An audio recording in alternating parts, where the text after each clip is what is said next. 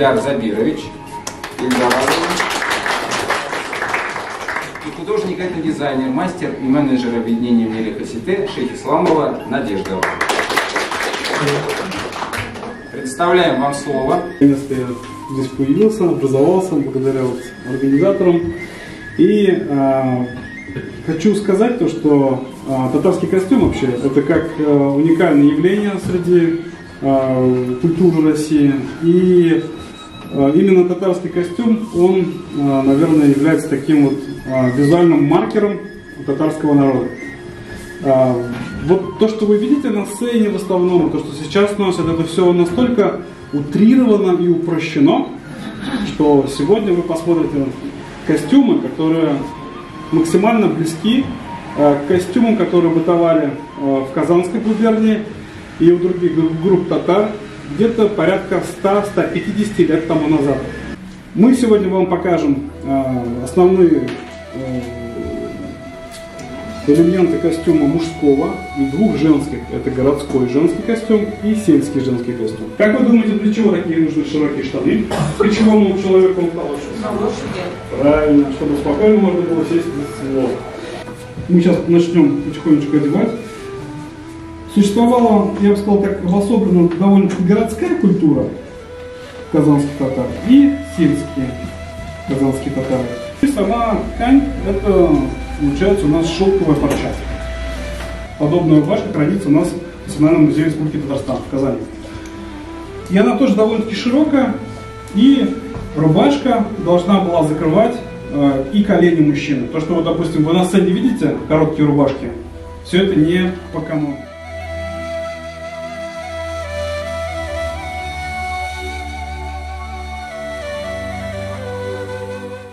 Именно в селе очень было распространено э, и золотное шитье, вышивка тамбуром, гладью, всевозможные вот такие вот э, сложные модели э, платьев.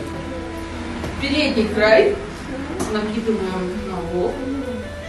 И уголки верхние наряживаем сзади. Так, ушко,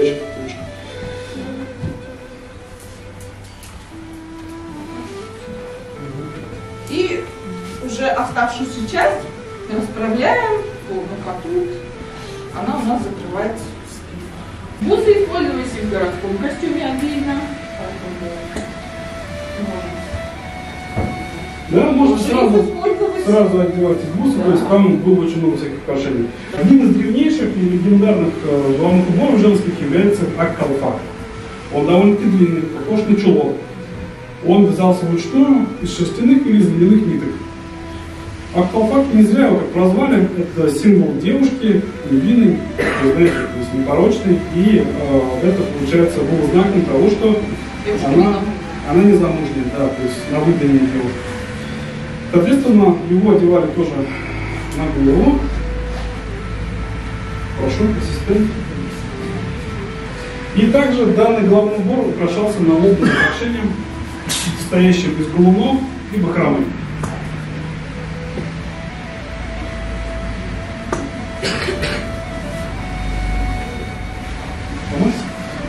Сейчас будем одевать процесс необычный. Ты перед зрителями вот так, да, так, вот, вот. Давай, я сверху сейчас положу. То есть это повязка, называется укашищат, украшенная бахромой.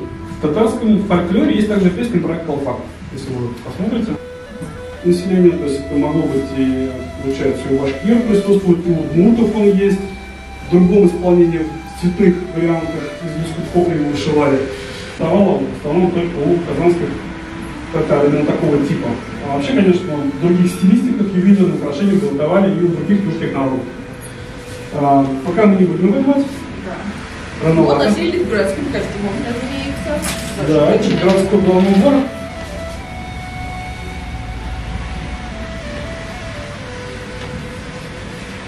Интересно комплектуют сельскую и городскую девушку. Косы достань. Камзолы шились из парчи, э, драгоценной ткани и были украшены э, царскими галунами. Вот галуны, кстати, настоящие, это им 200 лет почти. То есть это прям металлические галуны, металлизированные. А, На улицу, когда выходили, могли одевать несколько одежд верхних. То есть были еще тулупы всевозможные и другие верхние одежды, подобные джелянов, мужских сейчас покажу. А, Здесь получается у нас э, комплект почти собран, но никогда татарка не выходила из дома, не показывалась на публике без головного убора. И обычные сапоги, похожие на хромовые, или а, было особым шиком использовать а, сапоги и мужчин, и женщин с нашим казанским швом, чижный шов. То есть это узорная кожа, которая как раз характерна только для казанских татар. То есть наши ремесленники до сих пор делают такие вещи именно в таком стиле. Ну или, например, Абсолютно вручную. абсолютно вручную, здесь никакая машинка не сошли. Также в мужском обиходе был пояс, который опоясывался а, вокруг талии. А, Пояс зачастую доходил от- до трех метров и больше. Дли- Длинные были пояса. Почему такой пояс? Ну, вот данный пояс, он общий тюркский. И он называется кушак. А, Для чего такой большой длинный пояс? А, Во-первых, это не только а, функционал, чтобы придерживать там или одежду, или штаны, но это еще функциональная вещь в плане того, что ее можно использовать как веревку. При помощи пояса можно носить дрова. Это было полотенце, можно было вытирать лицо, руки. В этот пояс прятали всевозможные небольшие мелочи, деньги, ложку можно было завернуть, какую-то небольшую еду, даже сухари можно было спрятать в этот пояс. Данный пояс можно было для того, использовать для того, чтобы спидножить коня или, например, э, связать врага. То есть это была очень функциональная вещь, а в более древние времена он служил для того, чтобы распределить вес у доспехов на человека. Такой прямоугольник, четкий с такими краями, он имеет корни турецкого происхождения. Он относится больше к фесу или к феске. Видели турецкие фески? Они пришли сюда вместе с учениками, то есть их э, с Турции привозили студенты, которые там учились. И данный головной убор, тип головного убора такой, как вот, как это называется, цилиндр, он появился довольно-таки поздно. Это не только верхняя одежда джеляна, она была для мужчины и одеялом, и она могла трансформироваться в разные вещи. Если ты ее опас- оп- и если жарко, концы джеляна отгибались, то есть засовывались в пояс. Верхнюю часть можно было снять, она повисала на нижней части, то есть если вам было жарко, можно было одно плечо скинуть, можно было второе плечо скинуть. И у джелянов были длинные рукава для того, чтобы убирать зимой вожжи в рукава, прятали, чтобы руки не отморозить. Поэтому всегда были длинные рукава.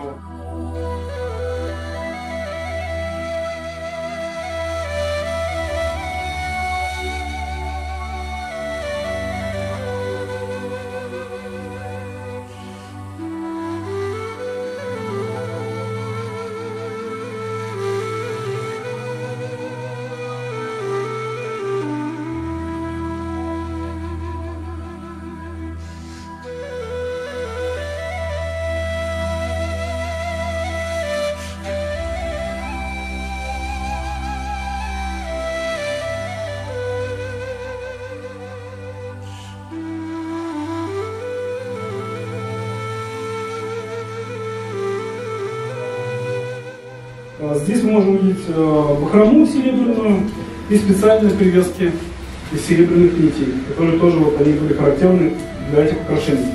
Да, расшито из глади тоже, Да, обратите что внимание. А сама ткань была парчевая или трикотажная. Называется уже так-так алфас. Вы представляете, сколько типов головных уборов были у татар? Спасибо. Ага. Так, ну что, примерим какой-нибудь головной убор? Да, давайте, какой вы вы выберете, какой хотите, давайте. Золотой как золотой. Вот это? Да. Ну, руки подняли, за это кто? А за это кто? За как 40, я же. То есть он мог быть ложен назад а, и мог быть ложен на бок. Самая традиционная, манера ношения – это на бок.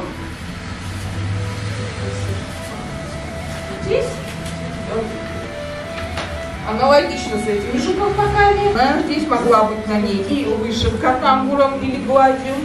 А, небольшие кустики могли брать ткани фабричные, уже с разными э, принтами, да, типа тех же букетиков.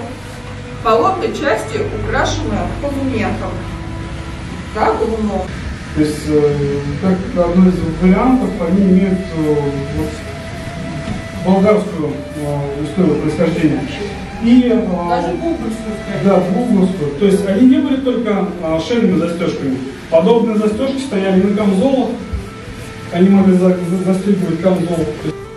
Тоже это легало. Нельзя было просто показывать. То есть у него было два значения. Скрытие волос по исламскому канону. А, есть какой-то вот эзотерический, типа вот женская энергия позвоночника выкрывалась. И есть э, тоже интересная особенность, когда, допустим, девушка еще была дозамужняя, она носила две косы. После сплеталось все в одну. Был основной документ, э, похожий на наш паспорт.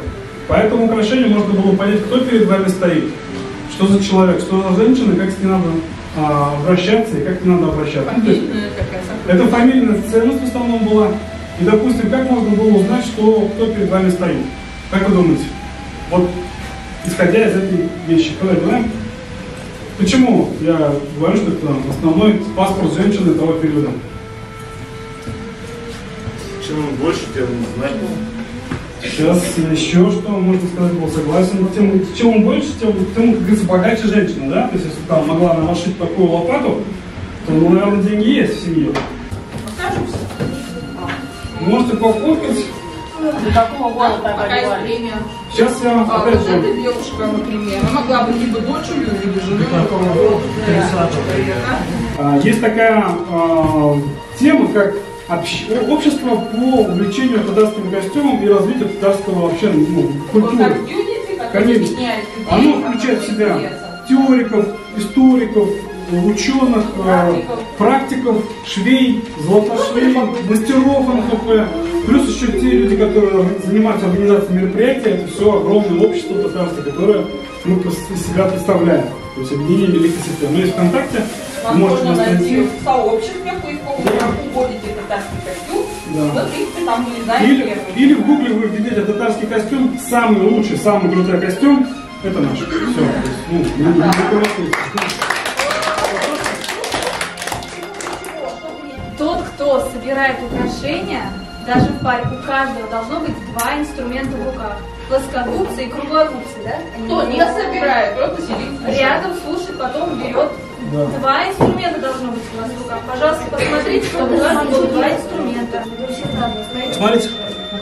А у, у каждого собирающего человека должно Нет, быть неправильно. два инструмента. Оно должно быть наверху, наверху, наверху должно Вот быть. Соединение должно быть наверху. собирает, ребята? Вот. Покажу. Вот. Вот у тебя